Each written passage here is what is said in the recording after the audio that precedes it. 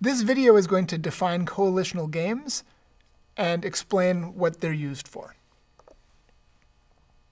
So coalitional games, unlike the non-cooperative games that we've talked about so far, don't model individual agents taking actions. Instead, they think about groups of agents acting together.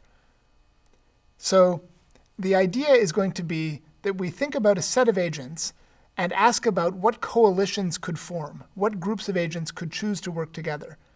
And to do that, we're going to define how well each different group of agents is able to do for itself. Now, in particular, in a coalitional game, we're not going to think about how the agents individually divide work up within the coalition or how it is that they coordinate with each other in order to form a coalition. We're going to take all of that as given and instead just think about how the coalition does altogether, what kinds of payoffs they're able to achieve. We're going to begin by making an assumption that's called transferable utility. What this assumption means is that it's possible for a coalition to redistribute the value that it's able to achieve arbitrarily among its members.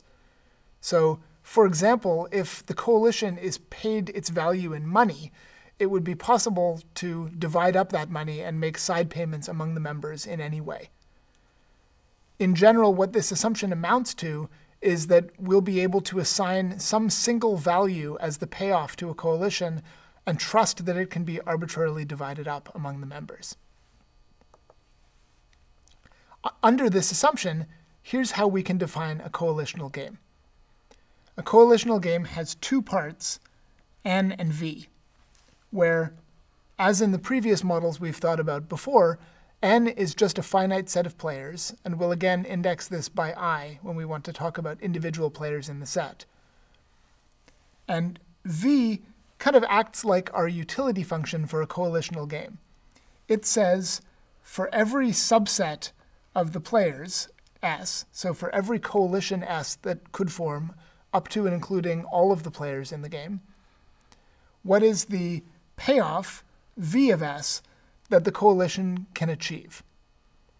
And this, of course, will allow the coalition to divide up among its members. We'll make a normalizing assumption that the value of the empty set is 0. There are two typical questions that we want to ask using coalitional game theory, the two kind of fundamental questions. The first is, which coalition makes sense to form? Which coalition would, would like to form in this game? And secondly, once we know which coalition will form, how should the coalition divide its payoff amongst all of the people in the coalition? Now, we're not going to spend very much effort thinking about the first question. It's usually going to be the case that the answer is the so-called grand coalition, which means everybody. So usually all of the agents will agree to work together. However, sometimes in order to guarantee that this would be true, we have to be careful about thinking about how the coalition will divide its payoffs among its members. In particular, here's a kind of game that, uh, that helps us to think about the first question.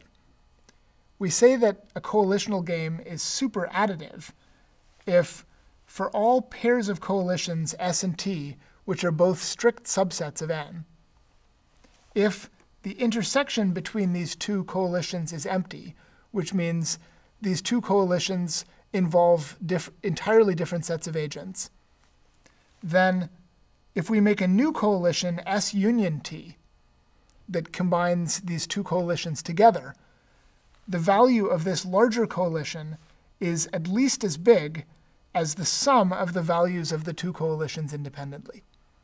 So in other words, if I make a bigger coalition out of two independent coalitions, the value of that bigger coalition is always at least as big as the sum of the values that those two independent coalitions were able to get on their own. This assumption makes sense if it's possible for coalitions to always work without interfering with each other.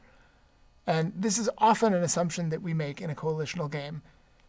Notice that this superadditivity assumption implies that the highest payoff of all, at least the weakly highest payoff of all, is achieved by the grand coalition. So when we're thinking about a superadditive game, it's natural to think that the grand coalition would want to form.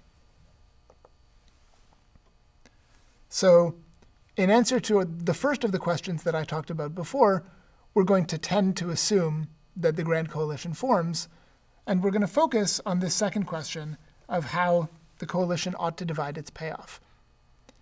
Now, it's reasonable to wonder what I mean when I say how it ought to divide its payoff. That kind of depends on what the coalition is trying to achieve.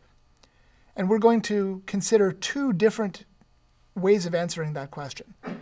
The first is how it ought to divide its payoff if what it's concerned with is fairness.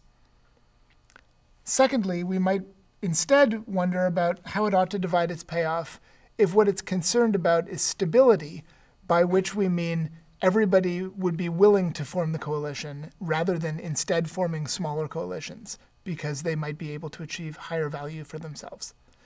And we'll, we'll look at all of this in the videos that follow.